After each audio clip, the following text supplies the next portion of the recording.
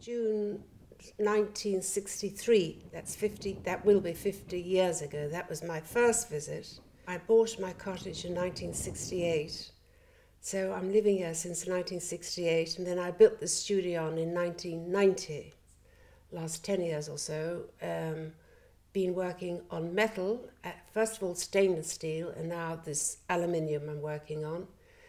And uh, while a big other bulk of my work has been etchings, and I was working in, in a workshop in Amsterdam, and I made my etchings of the dolphin in Amsterdam.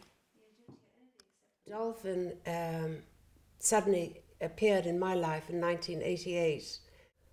I just found that the whole experience of swimming with the dolphin was so extraordinary. I wasn't expecting, as most people have, you know, it was like a moment where everything in your life changes, you know, that connection. Uh, with a dolphin. Great lot of humour in the dolphin. So I think I, I like to bring the humour out. That's, you know, makes us all happy and his beautiful, wonderful, permanent smile and his eye that sees you from everywhere.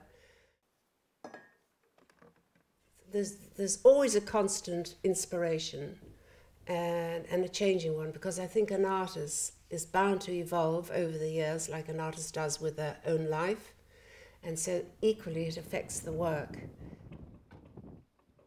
Obviously, the peninsula has very much influenced my work, so different and so inspiring that it, it sort of affects one's outlook on life.